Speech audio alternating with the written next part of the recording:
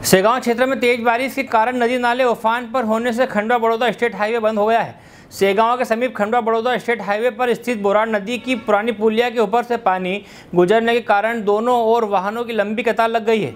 कई यात्री वाहन भी फंसे हुए हैं। करीब दो घंटे से अधिक समय से आवागमन अवरुद्ध है। हम आपको बता दें कि बोराड़ नदी पर करीब पाँच वर्ष से पुलिया का निर्माण कार्य चल रहा है।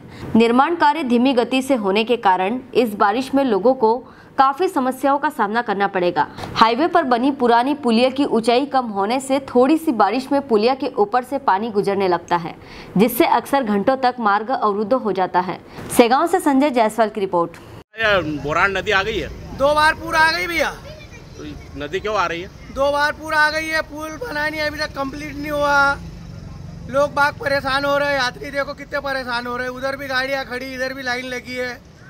जाना ज़रूरी है अब क्या करे बस जा नहीं सकती दो घंटे नदी नदी नहीं उतरेगी दो घंटे तक तो। क्या नाम लिखते हैं आप? ओम प्रकाश यादव। ये बोरान नदी को लेकर आप क्या बोलना चाहेंगे? मैं यही बोलना चाहता हूँ कि जो प्रशासन ये पाँच साल से काम करा और अभी तक ठेकेदार ने पूरा काम नहीं करा पाँच साल। कि जिसके कारण ये नदी आ जाती है इसके कारण नदी आ जाती है और जब राहगीरों को तकलीफ़ पड़ती है। ये कब से आई हुई नदी? ये नदी करीब आधा घंटा हो गया कम से कम। क्या नाम लिखते हैं नारायण अग्रवाल से।